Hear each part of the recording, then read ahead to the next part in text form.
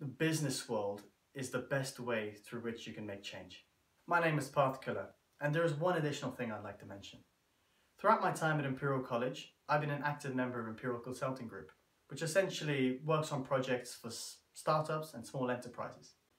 And there was one project in particular which was very meaningful, and was actually the seminal moment in which I decided to pursue a consulting career, and thereby change track from a physics degree to a management one the client approached our team. It was a renewable energies client, and they approached us and they wanted to enter the Indian renewable energies market and introduce microgrid electricity networks into rural villages, providing electricity which would be clean and sustainable to those communities. And it was our job to develop a market entry strategy for them. So our team, we went away, um, we were a diverse bunch of people, and we collaborated in a very remarkable fashion. You, we used the Google Drive, we downloaded information, filtered through it, and we even had one-on-one -on -one Skype sessions just to check on progress. In the end, we managed to put together a very professional looking presentation and outline our recommendations to the client. It was such a rewarding feeling to see how the client took on our recommendations and actually in June last year, the first microgrid was launched, providing clean energy for a thousand people with a five-year vision to electrify 1 million more people in rural India.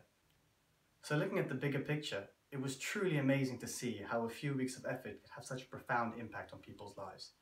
And if I compare this to another experience I had at the University of Valencia, where I was working on my master's thesis on the effect of aerosols on solar power generation, I spent five hard months working on my thesis. And when I did finally complete it, it was highly commended and actually recommended to be published. But thinking about if I were to indeed publish it, the probable impact it would have would be within the scientific community. But it wouldn't have an impact on the same scale as the consulting project did.